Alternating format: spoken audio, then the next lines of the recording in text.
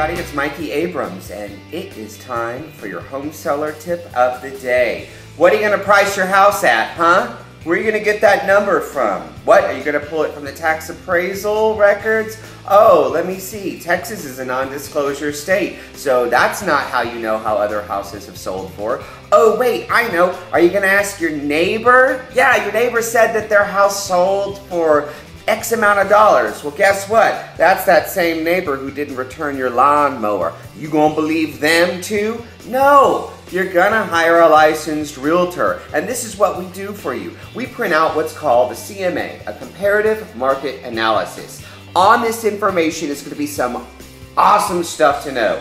The days on market for houses that have sold in your neighborhood for the past six months, what they actually sold for, what they actually listed for, the price per square foot, and how many bedrooms, how many bathrooms, and we'll even have pictures as to see if they've been updated or not. That's what you base it on, and then you have a licensed realtor come over to your house so they can assess your home, to have a listing appointment. That way they can tell you exactly what needs to be done to your house and you can receive the best possible dollar amount that you can. This has been Mikey Abrams, and that has been your home seller tip of the day. Take pride in your real estate experience.